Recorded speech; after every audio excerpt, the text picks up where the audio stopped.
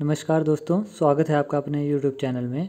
तो दोस्तों, आज H P TET non medical का जी के पोर्शन 2020 का हम डिस्कस करेंगे, जो आज एग्ज़ाम हुआ है। तो चलिए जल्दी से शुरू करते हैं। 2019 का साहित्य का नोबेल पुरस्कार किसने जीता? किसने जीता? पीटर हांडेक ने। केंद्र शासित प्रदेश लद्दाख के प्रथम उप राज्यपाल की शपथ किसने ली? किसने ली? राधा कृष्ण माथुर जी ने। भारत के वर्तमान राष्ट्रीय सुरक्षा सलाहकार कौन है? अजीत डोभाल आर्य समाज के संस्थापक कौन हैं? स्वामी दयानंद। भोपाल गैस त्रासदी के समय किस गैस का रिसाव हुआ था? मिथाइल आइसोसाइनाइट तवांग बौद्ध मठ, भारत के किस राज्य में स्थित है? अरुणाचल प्रदेश। एशियन विकास बैंक का मुख्यालय कहाँ है? मनीला। दिल्ली के चांदनी चौक में लॉर्ड हर्डिंग पर बम फेंकने का अद्भुत साहसी कार्य को किसने अंजाम दिया? रास बिहारी बोस जी ने। डेमोग्राफी ज्ञान की किस शाखा का नाम है? किस शाखा का नाम है? Study of population. चंद्रमा की रोशनी को धरती पर पहुँचने में कितना समय लगता है? 1.3 पॉइंट सेकेंड भारतीय संविधान की संशोधन प्रक्रिया किस देश के संविधान से प्रेरित है? दक्षिण अफ्रीका. विधानसभा चुनावों में इलेक्ट्रिक इलेक्ट्रॉनिक वोटिंग मशीन के प्रयोग की शुरुआत कब हुई? तो ये कब हुई? आपके पास 1998 में. ठीक है गाइस झांसी की रानी लक्ष्मीबाई की समाधि किस स्थान पर अवस्थित है? लश्कर ग्वालियर. किस वर्ष में मद्रास का नाम परिवर्तन चेन्नई के रूप में हुआ? तो किस वर्ष में हुआ? ये हुआ आपके पास 1998 में। ठीक है?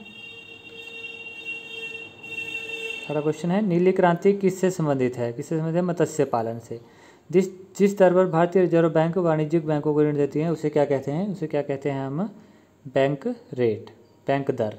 ठीक है? संयुक्त राष्ट्र सुरक्षा परिषद के गैर स्थायी सदस्यों का चयन कितने समय के लिए किया जाता है? तो कितने समय के लिए किया जाता है? दो वर्ष के लिए। गैर स्थायी सदस्यों का चयन। निम्नलिखित में से किसे पाश्चात्य चिकित्सा का जनक माना जाता है? किसे माना जाता है? हिपोक्रेटिस। चंदन काष्ठ के लिए कौन सा राज्य विख्यात है? कर्नाटक। स्वाधीनता संघर्ष के दौरान भारत को कोकिला कोकिला के अभिमा अभियान से किसे संबोधित किया जाता था? सरोजनी नायडू। मरणोपरांत भारत रत्न सम्मान से सर्वप्रथम किसे सम्मानित किया गया? लाल बहादुर शास्त्री। फलों को पकाने के लिए कौन सी गैस का प्रयोग होता है? इथाइलिन। नेताजी सुभाष चंद्र बोस की आत्मकथा का शीर्षक है, an Indian pilgrim Raghunath ji की मूर्ति को अयोध्या से कुल्लू कौन लाए?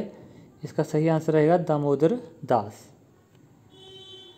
उन्नीस में गठित क्षेत्रीय परिषद के अध्यक्ष कौन थे? ठाकुर कर्म सिंह। एशिया का सबसे बड़ा मछली प्रजनन केंद्र कहाँ पर स्थित है? देवली में। कुल्लू देश की कहानी नामक किसने, पुस्तक किसने लिखी? लालचंद प्रार्थी। शिमला ब्रिटिश राज की ग्रीष्मकालीन राजधानी किस वर्ष बनी? अठारह में। अमृता शेरगिल कौन थी? चित्रकार। ठीक है? एक सौ पचास क्वेश्चन है लास्ट क्वेश्चन रहेगा। भारतीय उस उच्च अध्ययन संस्थान कहाँ अवस्थित है? शिमला में। तो आई होप गाइज़ आपको ये वीडियो पसंद आई होगी। तो ज़्यादा से ज़्यादा लाइक करें शेयर करें कमेंट करें और थैंक यू